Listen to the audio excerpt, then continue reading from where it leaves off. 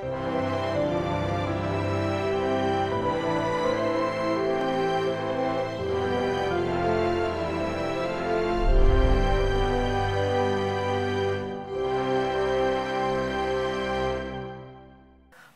아픔과 유익이라는 제목으로 말씀에 은혜를 나누겠습니다. 내가 무엇을 포기하고 버린다는 것은 쉬운 일이 아닙니다.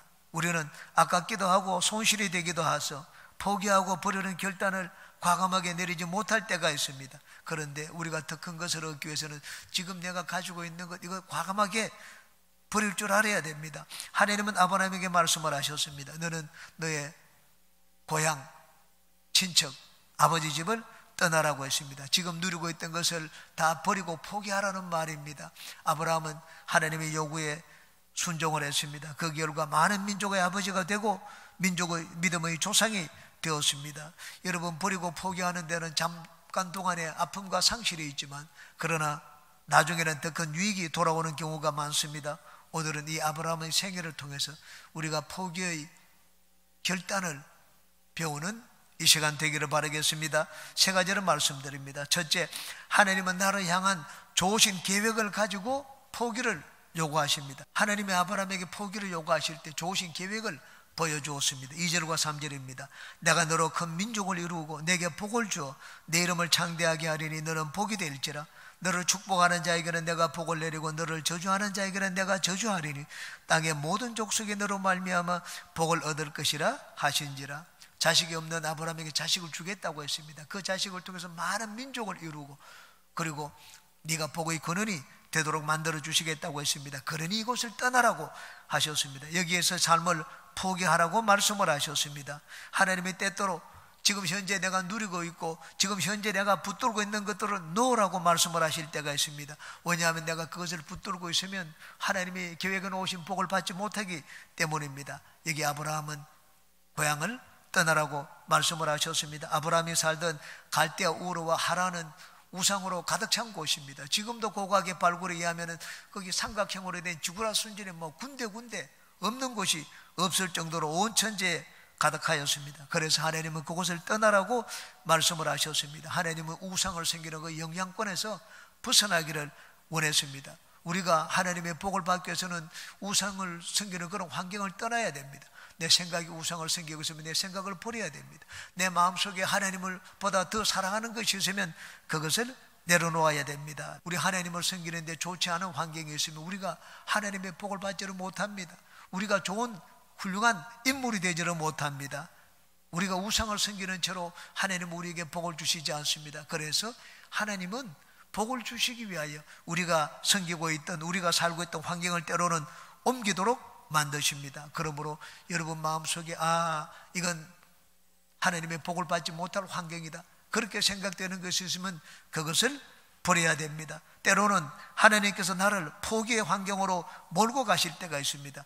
어쩔 수 없이 내가 지금 붙들고 있고 내가 지키고 있던 그것을 포기하라고 하실 때가 있습니다. 하나님은 야복강 나루트에서 야곱이 가지고 있던 인간적인 생각과 지혜, 꾀를 버리도록 만들었습니다. 하나님의 천사가 거의 허벅지를 쳤습니다. 허벅지 관절이 위골되었습니다. 여차하면 도망가기 위해서 꾀를 썼습니다. 스물 공세를 하고 자기 처자를 앞서 버려가지고 형 에세 마음에 불쌍한 마음이 동정심이 들도록 만들었습니다. 그것도 안 되면 자기는 도망가리라고 생각을 했습니다. 그런 야곱의 모든 계획이 일시에 무너졌습니다. 이제는 살 길은 한 가지밖에 없었습니다. 하나님께 죽기 살기로 매달렸습니다. 하나님이 왜 야곱의 환도뼈를 쳐서 다리를 저른 장애인으로 만들었습니까? 인간을 껴로 사는 것보다 야곱의 인생을 위한 더 좋은 계획을 하나님께서 가지고 계셨기 때문입니다. 모세를 기른 모세의 부모도 마찬가지입니다. 모세를 숨기고 싶었지만 이젠 더 이상 모세를 숨길 수가 없었습니다. 모세는 어릴 때부터 보통 아이와 달랐습니다. 울음소리도 보통 아이보다 10배나 컸습니다. 울지 않으면 괜찮은데 다른 아이들보다 더 크고 울기 때문에 이제는 모세를 숨길 수가 없었습니다. 아픔을 머금고 모세를 갈대 상자에 넣었습니다. 그리고 나일 강물에 떠내려 보내었습니다. 어쩔 수 없는 상황이었습니다. 그런데 하나님이 그런 어쩔 수 없는 상황 가운데 몰고 간 것은 모세를 죽은 가운데로 몰고 가기 위함이 아니었습니다. 모세를 이스라엘의 위대한 지도자로 기르고자 하는 하나님의 좋으신 계획이 있었기 때문입니다. 사도행전 7장입니다. 버려진 후에 바로의 딸이 그를 데려다가 자기 아들로 기르며 모세가 애굽 사람의 모든 지혜를 배워 그의 말과 하는 일들이 능하더라. 하나님은 모세의 부모가 어쩔 수 없이 모세를 포기하도록 만들었습니다. 왜? 하나님의 궁중 교육을 시키기 위해서였습니다. 하나님은 때때로 현재 내가 누리고 있는 것들과 편안한 삶을 버리고 포기하게 하실 때가 있습니다. 그것은 나에게 어려움을 주기 위해서가 아닙니다.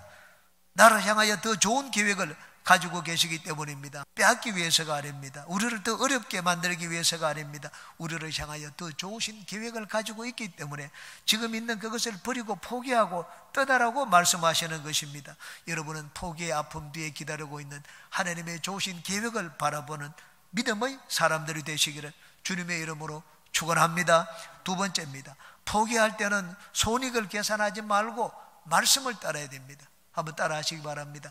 포기할 때는 손익을 계산하지 말고 말씀을 따르자. 아브라함은 가나안 땅을 떠날 때 야훼 말씀에 순종하였지만 롯도 함께 데리고 갔다고 했습니다. 4절입니다. 이 아브라함이 야훼 말씀을 따라갔고 롯도 그와 함께 갔으며 아브라함이 하란을 떠날 때 75세였더라.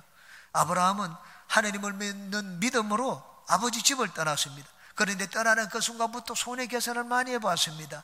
야, 친척을 다 떠나려고 했는데 이 조카 롯은 괜찮지 않겠는가? 어릴 때부터 조카와 같이 자랐습니다. 나이가 비슷한 나이였습니다.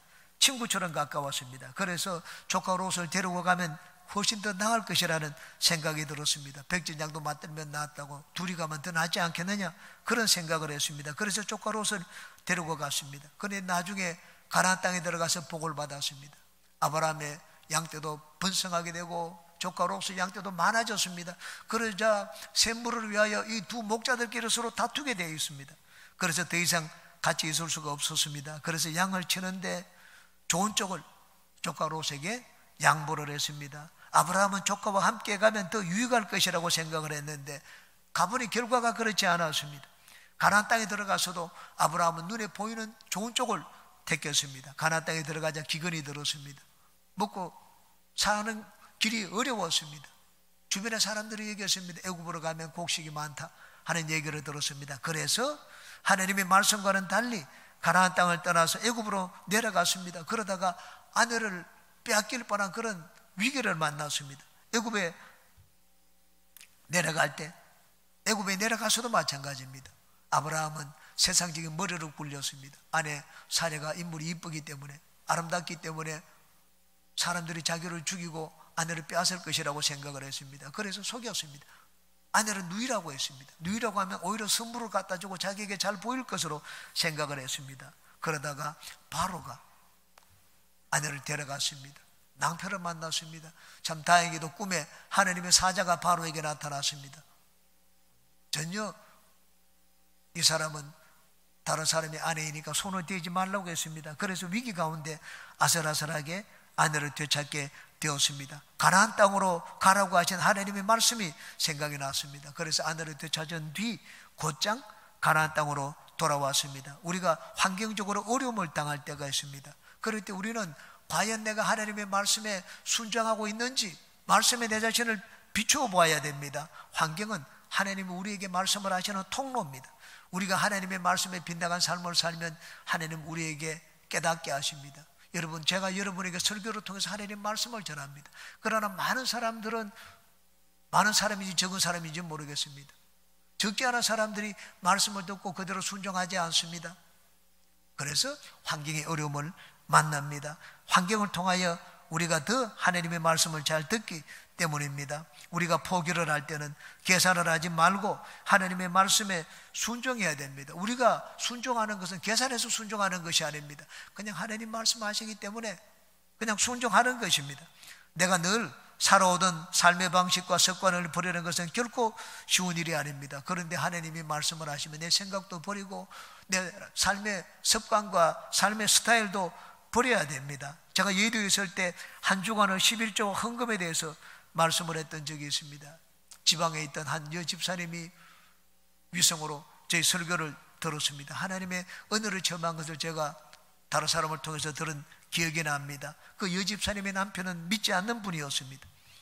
남편이 예수님을 믿지 않기 때문에 헌금을 마음대로 할 수가 없었습니다. 남편에게 받는 그 생활비를 떼가지고 11조를 했습니다. 이유가 없기 때문에 다른 헌금은 드리지를 못했습니다. 그런데 제가 말씀을 저는 그 새벽 주간에 이분이 11조 헌금에 대해서 은혜를 많이 받았습니다.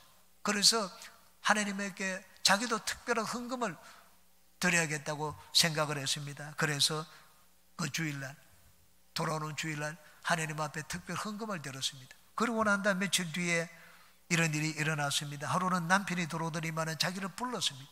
안방으로 불러들었습니다. 그러고는 안주문에서 봉투를 하나 꺼내서 주었습니다. 보니까 빳빳한 신권이 들어있는 봉투였습니다. 수십 년 동안 남편과 같이 살았지만 남편에게 봉투를 받은 적이 그때가 처음이라고 말을 하는 것을 전해 들었습니다. 여러분, 하나님이 우리 말씀이 우리 마음에 감동을 줄 때는 우리는 손익 계산을 해서는 안 됩니다. 그러면 나를 위해서 마련해 놓은 하나님의 좋으신 기획을 우리가 놓치고 맙니다. 우리가 하나님이 나에게 주시는 말씀을 받았을 때는 이해관계나 손익 계산을 하지 말고 말씀하신 대로 순종을 해야 됩니다. 하나님의 말씀에 기초해서 하나님 말씀에 순종하여 살면 하나님은 우리 인생의 뒤를 돌봐 주십니다. 아브라함은 양들이 마시는 우물로 인하여 조카로가 불편한 관계가 되었습니다. 뒤늦게 아브라함은 하나님 말씀을 깨닫게 되었습니다. 야, 하나님이 고향뿐만 아니라 친척을 떠나라고 했는데 내가 친척 조카를 데리고 왔구나. 그래서 나에게 이런 일이 생겼구나. 뒤늦게 하나님 말씀을 빗나갔다는 것을 깨달았습니다. 그래서 뒤늦게나마 하나님 말씀을 따라야 되겠다고 생각을 했습니다. 그래, 지금이라도 내가 손해를 보자. 하나님 말씀을 지키는데 손해를 봐야 된다면 손해를 보겠다고 했습니다. 조카 롯을 찾아갔습니다. 이보게 이제 우리가 헤어지는 것이 낫겠네. 우리가 여기 있으면 서로 다투어서 관계가 더 나빠질 뿐이네. 그 대신 자네가 먼저 좋은 쪽을 택하게. 당신, 자네가 동으로 가면 나는 서쪽으로 가고, 네가 남쪽을 택하면 나는 북쪽으로 가겠다. 그래서 헤어지게 되었으면 롯은 자기 눈에 보기에 제일 좋은 쪽을 택했습니다. 아브라함은 그 반대 방향을 택했습니다. 그러고 난 다음 하나님이 아브라함에게 나타났습니다. 좋지 않은 쪽을 택했는데 아브라함에게 나타나셔서 이렇게 말씀을 하셨습니다. 13장입니다. 롯이 아브라함을 떠난 후에 야훼께서 아브라함에게 이르시되 너는 눈을 들어 너 있는 곳에서 북쪽과 남쪽 그리고 동쪽과 서쪽을 바라보라. 보이는 땅을 내가 너와 내 자손에게 주리니 영원히 이르리라 고 했습니다. 롯은 자기 눈에 보기에 자연적으로 좋은 환경을 택해서 갔습니다. 아브라함은 포기했습니다.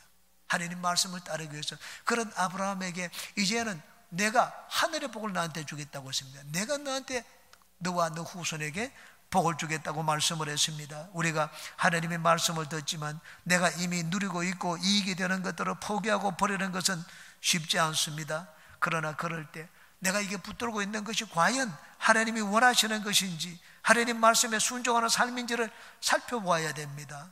내가 붙들고 있는 것이 하나님이 원하는 것이 아니고 말씀에 빗나갔으면 과감하게 버릴 줄 알아야 됩니다. 베드로는 깊은 데로 가서 그물을 내려 고기를 잡으라는 예수님 말씀을 들었습니다. 참 처음에는 의의가 없었습니다. 어부도 아닌 분이 내가 밤새도록 수고해서 한 마리도 잡지 못한 그곳에 다시 가서 그물에 내려 고기를 잡으라고 하니 참 의의가 없었습니다. 그런데 베드로는 이렇게 대답을 했습니다. 누가복음 5장입니다. 시몬이 대답하여 이르되 선생님 우리들이 밤이 새도록 수고하였으되 잡은 것이 없지만은 말씀에 의지하여 내가 그물을 내리리이다 하고 베드로는 어부의 상식과 경험을 내려놓았습니다. 그리고 말씀에 순종해서 갔더니 그물이 찢어지듯이 많은 고기를 잡았습니다. 고기를 잡고 나왔습니다. 이제는 예수님이 베드로를 다시 부르셨습니다. 이제 후로는 내가 사람을 취하는 어부가 되리라. 그렇게 말씀을 했습니다. 그러자 베드로는 배와 그물을 버려두었습니다. 모든 걸 버려두고 예수님 말씀에 순종하여 따라 나섰습니다. 그런 베드로에게 예수님은 당신의 교회를 맡겼습니다. 오늘날 베드로 이름이 온 세계에 기억되고 기념되고 있습니다. 예수님이 레위라는 세리가 세관에 앉아 있는 것을 보셨습니다. 나를 따르라고 하십니다. 세리면 여러분 많은 돈을 벌 수 있는 직업입니다. 그런데 예수님이 나를 따르라는 말씀을 듣자 즉시 일어나서 그 모든 것을 버려두고 예수님을 따라 나섰습니다. 나중에 마태복음을 써서 후세의 길이 길이 기억되는 인물이 되었습니다. 하나님은 하나님의 말씀 앞에 우리 모든 것을 내려놓고 포기하기를 원하십니다. 왜냐하면 나를 향한 더 좋은 길이 예비되어 있기 때문입니다. 여러분은 말씀에 순종할 때 세상적인 경험이나 지식을 보태지 말고 이해관계를 생각하지 말고 믿음으로 말씀에 순종하시기를 주님의 이름으로 축원합니다. 세 번째입니다. 포기는 우리를 믿음의 사람으로 만듭니다. 한번 또 따라 하시기 바랍니다. 포기는 나를 믿음의 사람으로 만든다. 하나님은 단순히 우리에게 뭐 더 좋은 것 주시기 위해서 포기하라고 말씀을 하는 것이 아닙니다. 하나님이 때로는 우리에게 생명을 내려놓아라. 그렇게 말씀을 하실 때도 있습니다. 여러분 생명보다 더 좋고 귀한 것이 어디 있겠습니까? 이 땅을 사는데 그럼에도 불구하고 하나님이 때로는 우리에게 생명을 포기하고 나를 위해서 내려놓으라고 요구하실 때도 있습니다. 그것을 통하여 하나님이 우리에게 보시기 원하는 것이 무엇입니까? 믿음입니다. 내가 세상 모든 것을 얻어도 잃어도 믿음을 우리가 얻으면 우리는 가장 귀한 것을 얻는 것입니다. 여러분 세상에 있는 모든 것들을 다 얻더라도 믿음을 잃어버리면 우리는 얻는 것이 없는 인생을 사는 것이 됩니다. 이 세상을 떠날 때 우리가 가져갈 수 있는 것이 있습니까? 아무것도 못 가져갑니다. 믿음만 가지고 갑니다. 하늘나라 들어갈 때는 믿음이 있어야 됩니다. 믿음이 있어야지 하늘나라 문이 열리기 때문입니다. 천국의 열쇠를 열고 하나님 앞에 가서 상급을 받는데 필요한 것이 믿음입니다. 그러므로 세상의 모든 걸 다 얻어도 더 필요한 것이 믿음이기 때문에 때로는 하나님이 우리에게 믿음을 위하여 다른 것을 포기하라고 말씀을 하실 때도 있습니다. 하나님께서 아브라함에게 아버지 집을 떠나라고 했습니다. 친척도 떠나라고 했습니다. 왜 모든 것을 떠나라고 했습니까? 아브라함을 믿음의 사람으로 만들기 위해서입니다. 여러분, 내가 문제가 생기고 어려움이 생길 때 옆에 아는 사람이 있으면 도움이 되지 않겠습니까? 근데 모든 걸 떠나라고 했습니다. 도움받을 사람을 완전히 다 하나님이 끊었습니다. 좌우를 둘러봐도 도움받을 사람이 없으면 이제는 쳐다볼 것은 하나님밖에 없습니다. 무릎을 꿇고 하늘만 바라보게 됩니다. 저는 이 점을 미국에서 유학 생활을 할 때 뼈저리게 점을 했습니다. 유학 생활을 하는 동안 물질적으로 어려움을 많이 겪었습니다. 2년이 지난 뒤에 한국에 있던 아파트를 추분했기 때문에 학비가 이제는 다 떨어졌습니다. 정말로 낙동강의 오리알이었습니다. 신용카드도 미국엔 발급해 주지 않습니다. 친척도 없고 아무리 돌아봐도 사고 무친이었습니다. 하나님 앞에 무릎을 꿇고 눈물로 매달리는 길 외에는 살 길이 없었습니다. 여기 아브라함의 경우도 마찬가지였습니다. 모든 것을 떠나라고 했습니다. 고향도 친척도 아버지 집을 떠나라고 했습니다. 하나님만 바라보라는 말입니다. 아브라함은 하나님은 아브라함을 믿음의 사람으로 만들기 위해서 아브라함이 손 내밀고 의지할 수 있는 모든 것을 차단했습니다. 하나님만 바라보도록 하기 위해서입니다. 아브라함을 믿음의 사람으로 만들기 위해서입니다. 하나님은 때때로 내가 의지하고 누리고 있는 것들을 떠나게 만드시는 때가 있습니다. 그것은 나를 믿음의 사람으로 훈련시키기 위해서입니다. 하늘 알아가는데 가장 중요하고 필요한 것은 믿음입니다. 하나님 앞에 설 때 상급을 받는 것도 믿음입니다. 우리 인생이 무엇입니까? 우리 인생은 믿음을 배우는 과정입니다. 우리는 지난번에 교회가 단체로 철로 역정을 관람을 했습니다. 철로 역정이 우리에게 보여주는 것이 무엇입니까? 천국 가는 길은 믿음밖에 없다는 것입니다. 그냥에 들떠서도 안 되고 교만해서도 안 되고 율법을 지켜서도 안 됩니다. 오직 예수님의 십자가를 바라보고 의지하는 자만이 천국에 들어갈 수 있다는 것을 보여주는 것이 철로 역정입니다. 우리 인생은 믿음의 사람이 되기 위해서 훈련도 받고 연단도 받습니다. 실패도 합니다.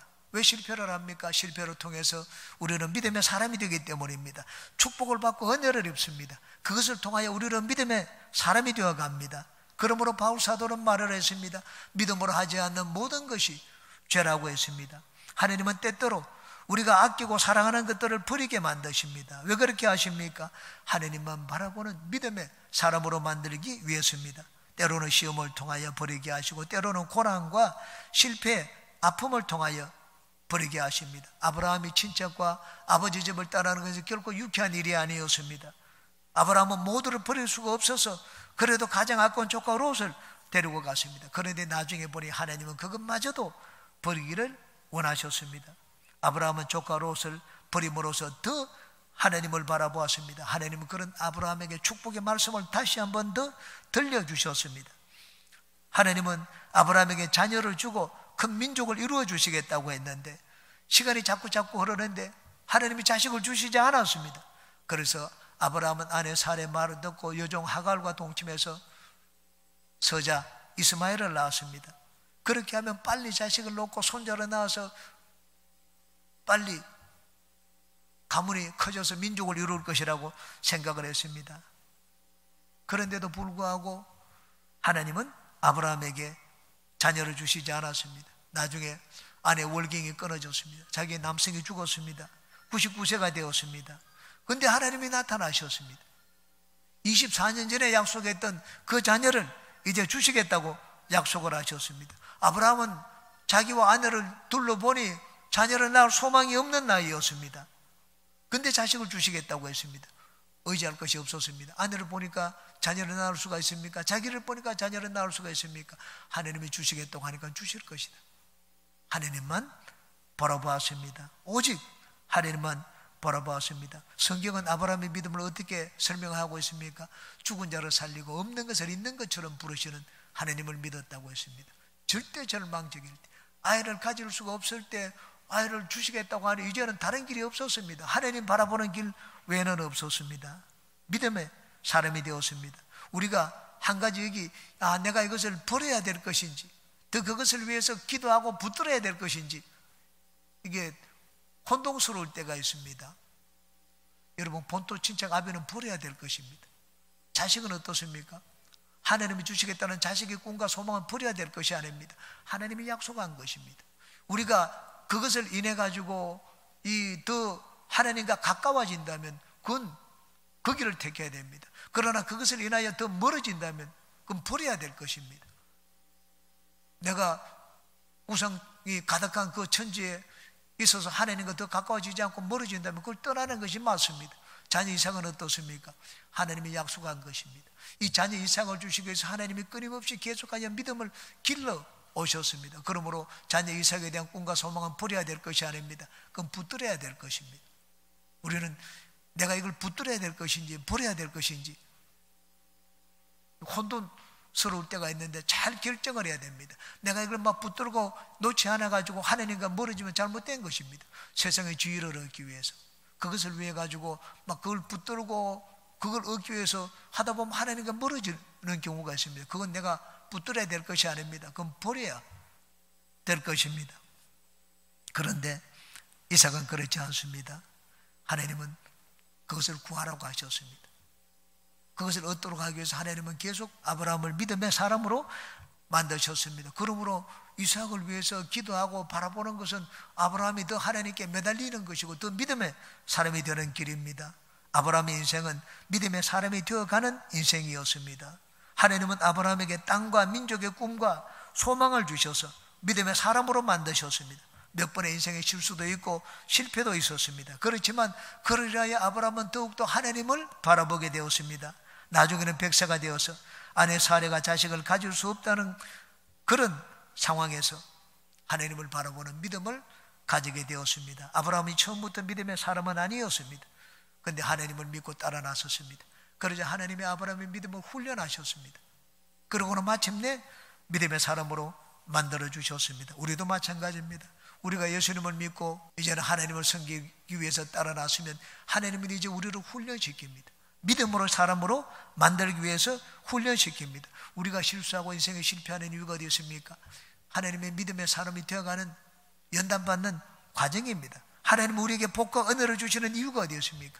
믿음의 사람이 되라고 그렇게 하시는 것입니다. 때로는 우리가 붙들고 있는 것을 놓아야 하는 아픔을 겪기도 합니다. 그것을 통하여 우리는 믿음을 배웁니다. 하나님은 그의 자녀를 위하여 좋으신 계획을 가지고 계십니다. 이것을 우리에게 이루기 위해서 하나님은 우리의 생각도 버리고 습관도 버리고 나쁜 환경에서 떠나기를 바라고 때로는 내가 누리고 지키고 있던 것을 버리고 포기하기도 하십니다. 여러분은 좋으신 하나님을 바라보고 하나님의 말씀에 믿음으로 순종하여 여러분을 위하여 예배해 놓으신 아름다운 복을 삶에서 체험하고 누리시는 모든 분들이 되시기를 주님의 이름으로 축원합니다.